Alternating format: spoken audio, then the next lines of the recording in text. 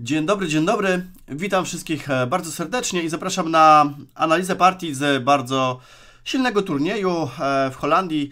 Tata Steel 2022. E, Jan Krzysztof Duda bierze w nim udział, ale partia, którą Wam przedstawię, miała miejsce właśnie pomiędzy Fabiano Caruaną a Richardem Raportem, zwanym Ryśkiem. Tutaj też na streamach Rysiek się pojawia i to mi się bardzo spodobało. Partia, no właśnie, Mistrzowie, arcymistrzowie tutaj e, no, grają w szachy oczywiście bardzo dobrze, perfekcyjnie znają debiuty, ale zdarzają się też błędy. E, jeżeli druga strona ten błąd wykorzysta, no to e, ma szansę oczywiście wygrać. Najtrudniejsze w szachach chyba jest e, wygrywanie wygranych pozycji. W ogóle uważam, że pozycyjka tutaj w tej partii i cały przebieg był ciekawy. Zresztą wszystkie partie szachowe są poniekąd ciekawe. Przejdźmy od razu do rzeczy i zobaczmy, jak tutaj Rysio sobie radził z Karuaną. Karuana jest uważana oczywiście za faworyta C4, E6, chociaż trzeba przyznać, że chyba Fabiano ma lekki spadek formy w ostatnich e, miesiącach.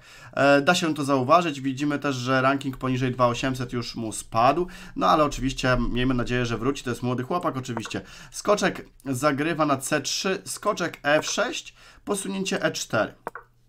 No okej. Okay.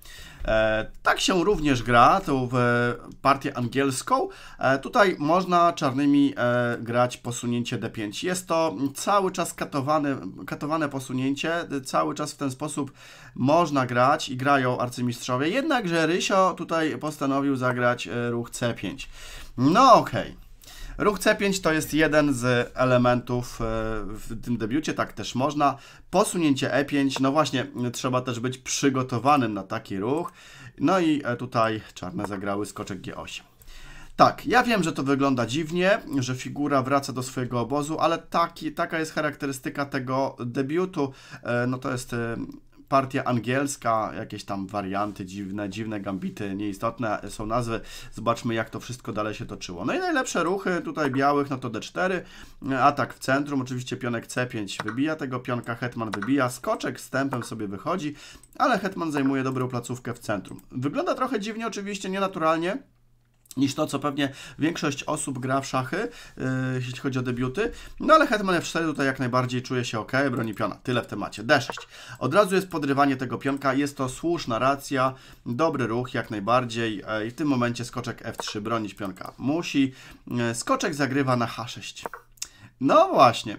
Ten ruch może też nieco zaskoczyć, no bo skoczek był już na F6, wrócił i znowu wskakuje na bandę, dodatkowo na bandę e, to podkreślam. Z reguły skoczki na bandzie stoją źle, no ale na arcymistrzowskim poziomie jakiś to sens pewnie ma i oczywiście w tym debiucie ten skoczek przede wszystkim ma ochotę zagrać sobie na e, pole H pole e, F5, przepraszam, ewentualnie po wybiciu goniec wybija, e, no właśnie, tak też się dzieje.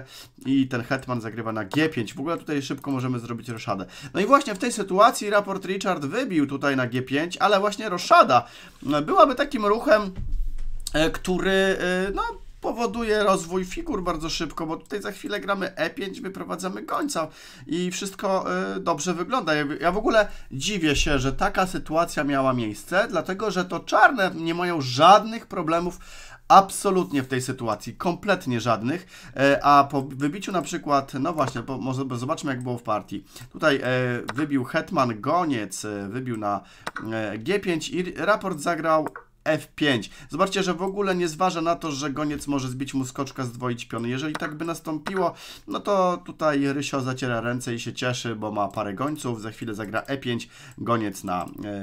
E6 i wszystko powinno wyglądać dobrze. Ewentualnie można tego też gońca wyprowadzić poprzez ruch B6. To też jest ciekawa opcja z tego względu, żeby skoczek może nie miał dobrego pola na D5. To też jest na pewno jakaś alternatywa, może i lepsza. W każdym razie po ruchu F5, e, roszada ze strony Karuany, e, w tej sytuacji goniec zagrał kulturalnie na C5, atakuje sobie pionka i skoczek E5. Jakże to sprytne posunięcie. Zobaczcie, skoczek tutaj podstawił się pod bicie.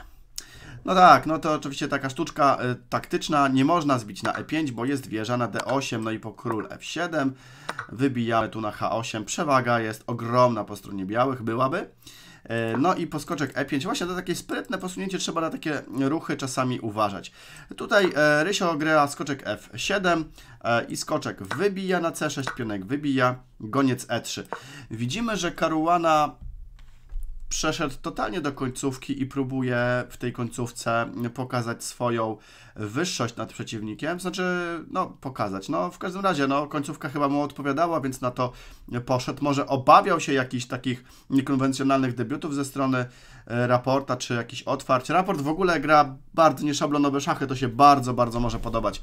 Także wszystkie ryśki niech grają w szachy i niech tutaj mm, się popisują swoją e, taką e, umiejętnością fajną. Znaczy, no dobra, odbiegam od tematu, nieistotne. Lecimy dalej. E, tu już się tak troszkę zagolopowałem. Dobra. E, pionek wybił na F3. E, wymiana. No i król E7. Roszada w e, końcówce jest już niepotrzebna raczej. Raczej jest niepotrzebna, więc tutaj król E7 czuje się dobrze. Zauważmy, że białe nie mają czarnopolowego gońca, czarnopolowego gońca, więc nie ma jak tego króla zaatakować. Więc król się na E7 na pewno tutaj dobrze ustawił. Goniec na E2, posunięcie G5. No i właśnie Rysio, zobaczcie tutaj swoje atuty wyciąga z rękawa, dlatego że ma cztery pionki na skrzydle królewskim przeciwko trzem pionom. E, no ten pionek E3 może być e, taką słabością, ale też niekoniecznie. Ten pionek jest ok. E, tutaj bardziej też trzeba też zwrócić uwagę na to, że tu są trzy pionki na dwa pionki, więc no końcówka jest niesymetryczna, co może pokazywać przewagę z jednej ze stron. I tutaj silnik bardziej lubi białe, mimo wszystko z prostego powodu. Skoczek A4. Ten skoczek na C5 znajduje świetną placówkę, który która sparaliżuje gońca z C8. Ale Rysio robi swoje. H5, skoczek zagrywa na C5 i H4. Zobaczcie, te pionki bardzo mocno idą do przodu. To jest bardzo ciekawa opcja, taka psychologiczna na przeciwniku, która może e, spowodować błędy. Jak w tej sytuacji należy grać? Na przykład białymi. Myślę, że stać w miejscu, znaczy chodzi mi o te skrzydło, aby stać w miejscu i podciągnąć lekko króla i potem zobaczyć, co się wydarzy. E, no oczywiście jakiś tam plan trzeba mieć, ale można podciągnąć pewnie b4, e, spróbować tutaj zdwoić wieżę na linii i grać tą końcówkę. Jednakże Caruana z niewiadomych przyczyn gra g4. Ja yy, nie mówię, że to jest zły ruch. Absolutnie to jest ruch jak najbardziej normalny, tylko że to daje taki punkt zaczepki przeciwnikowi yy, i dlatego Rysio zagrywa od razu yy, skoczek na E5, wymuszając poniekąd tutaj bicie na F5, co y, no właśnie, jeżeli by tutaj białe wybiły, no to pionek wybija. Pozycja czarnych byłaby bardzo, bardzo dobra, moi drodzy, bo Wydłużył się e, z jednej strony goniec, a po drugie tutaj pionki naprawdę wyglądają bardzo groźnie, a ten skoczek C5 niby stoi fantastycznie, ale też zobaczcie, że on tylko stoi. No ale właśnie, po skoczek E5 Fabiano Caruana zagrywa wieża D4. No i to jest e, dosyć poważne przewinienie. Nawet w tak prostej końcówce, tak fantastycznych zawodników, jak e, taki zawodnik jak Caruana popełnia błąd. Dlaczego jest to błąd? E, no, to jest pytanie do Was, jak zagrać czarnymi, żeby ten błąd wykorzystać. Otóż Rysio bezbłędnie to wykorzystuje i skoczkiem zbija na G4. No, można powiedzieć, że wymiana następuje, ok, goniec zbija, ale całe tutaj e, wydarzenie w tej sytuacji, e, główny ruch to właśnie jest E5 i chyba Caruana e, ten ruch przeoczył, tak mi się wydaje, no bo zobaczcie, jest atak na wieżę, nie możemy sobie pozwolić na bicie tutaj na F5, to nic nie daje, bo tu tracimy wieżę, więc wieża musi uciekać, e, wraca na G2 i pionek zbija na G4. Tym prostym sposobem nasz Rysio, nasz Rysio zdobył e, tutaj pionka. No i to jest bardzo duża przewaga, e, ogromna bym nawet powiedział e, w końcówce. Trzy piony na jeden. Wprawdzie zdwojone, ale są. To jest ważne. Skoczek zagrywa na D3. No dobra. Skoczek atakuje pionka. Jakoś trzeba sobie z tym radzić. Za bardzo król na F6 nie może, bo jest szach. Król na E6 jak zagra, to też za bardzo nie może, bo skoczek na C5. No więc trzeba spróbować znaleźć troszeczkę inną drogę aktywnej gry, żeby to wykorzystać. No bo na pewno... To właśnie są takie momenty w szachach, że wiemy, że mamy lepiej. Y, mówię tutaj z perspektywy czarnych. Pozycja czarnych jest lepsza, nie ulega to wątpliwością. Zawodnik tej klasy sobie oceni sytuację, widzi, że ma lepiej, ale e, widzi, że e, w zasadzie traci piona, a jak będzie powtarzał ruchy, to będzie remis, a tego remisu nie chce, i mając przewagę absolutnie, więc szuka aktywnej gry i ta aktywna gry, aktywna gra e, nazywa się wieża H6. Bardzo ładny ruch, dlatego, że wieża tutaj łapie fajną aktywność na szóstce, broniąc przy okazji tego pionka. Skoczek oczywiście konsumuje, bo co in, zostaje innego w tej sytuacji. Wieża E6 i zobaczcie, że Rysio znowu oddaje kolejnego pionka. W tej sytuacji to białe mają pionka więcej. Właśnie. Ale jest to zabieg chwilowy i zabieg, e, który e, no, czarne miały w głowie. To jest wszystko wyliczone. Wieża zagrywa na E4. Skoczek ma problemy. No więc e, wraca na F2 i wieża zbija pionka. Pionkach porówno i największy atut teraz tutaj czarnych to jest to, że są dwa pionki na jednego, a goniec jest zdecydowanie lepszą figurą w końcówce od skoczka w tym momencie. I jeszcze tak pragnę zwrócić uwagę na pionka E3, który w tym wypadku, tak, ja sobie zdaję sprawę, że pewne są zawiłości, takie nudy, ble, ble, ble, ble ale jak się chce grać lepiej w szachy, to e, no może mm, warto przeanalizować głębiej. Chodzi o to, że ten pionek mm, tutaj broni przede wszystkim wieży nie broni wieży, tylko zasłania linię E i wieża nie może zagrać na E1, dając szacha, więc król tutaj nadal jest bezpieczny. Wieża zagrywa na C2, na co Rysio wybija, e, wybicie nastąpiło, goniec na E6, jakaś tam e, atak przy okazji wyprowadzenia gońca, wieża G1 Karuana szuka aktywności, no to wieża na F8 z atakiem na skoczka, skoczek D3, no i posunięcie G4.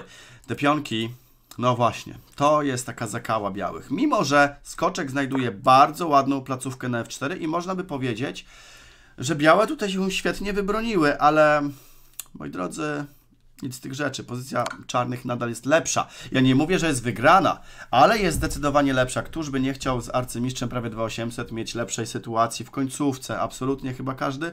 Het, y, hetman, no nie hetman, tylko król zagrywa na D2 prosty szach na d8, król e2.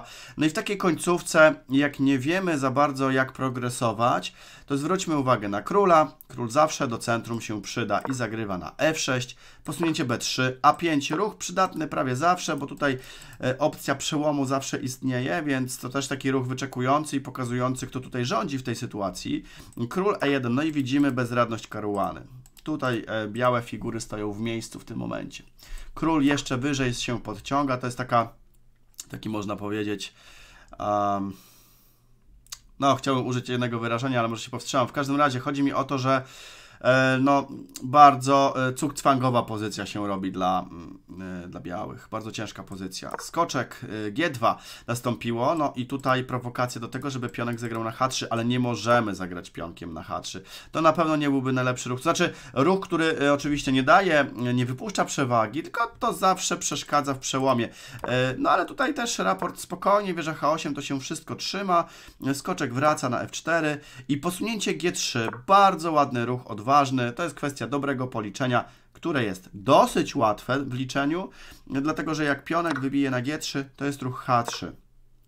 Nie ma jak się bronić przed marszem pionka. Na przykład wieża H1, no to H2.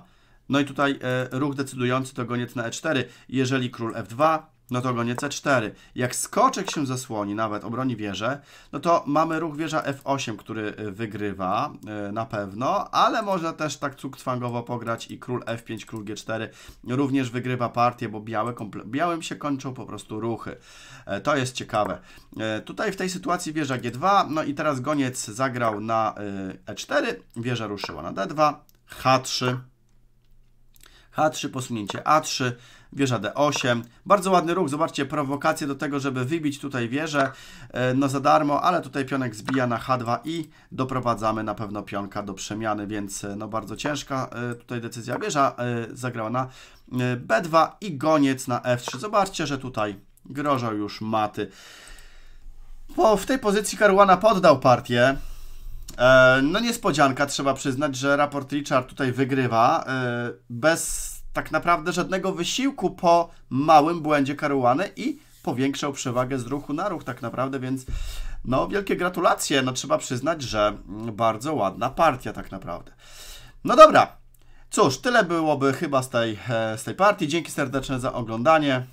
Kciuki w górę zawsze mile widziane. Pozdrawiam, cześć.